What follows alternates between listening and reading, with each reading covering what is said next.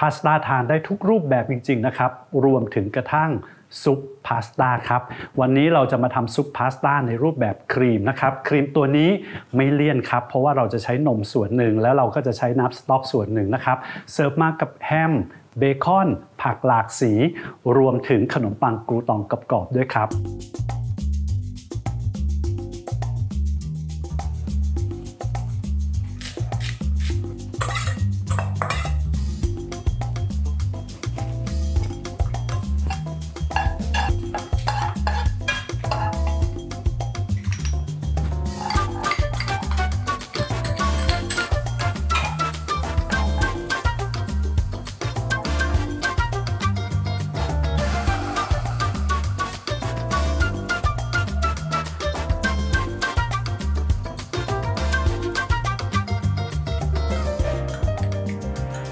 ข้อดีของซุปพาสต้านะครับก็คือรับประทานอิ่มท้องครับ แล้ววันนี้นะครับผลเลือกใช้เป็นพาสต้าที่มีชื่อว่าเอลิเก้หมายเลข 56 ครับ เป็นพาสต้าที่มีลักษณะเกลียวเล็กแบบนี้นะครับพาสต้าตัวนี้ซุปสลัดเหมาะเลยครับ ซึ่งเส้นตัวนี้นะครับเวลาในการต้มนะครับ ถ้าเผื่อเป็นเนื้อสัมผัสออเดนเต้นะครับอยู่ที่ 5 นาที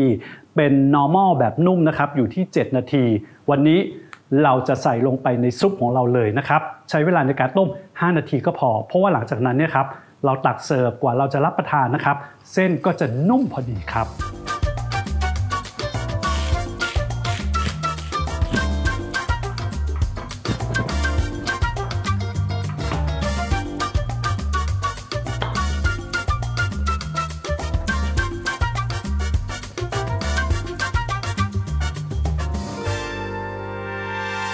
สำหรับซุปพาสต้านะครับนอกจากอิ่มท้องแล้วยังได้ประโยชน์อีกด้วยครับ และสำหรับตัวขนมปังกรูตองนะครับทำเก็บไว้ได้เยอะ ๆ เลยครับ พักให้เย็นเก็บในกล่องสุญญากาศได้ 2 สัปดาห์ครับ แต่ที่สำคัญอย่าลืมนะครับ เมนูพาสต้าถ้าพาสต้าไม่ได้คุณภาพ เมนูนั้นก็ไม่มีทางอร่อยแน่นอนนะครับ เลือกใช้พาสต้าคุณภาพต้นตำรับจากอิตาลีเลือกใช้แอคเนซีครับ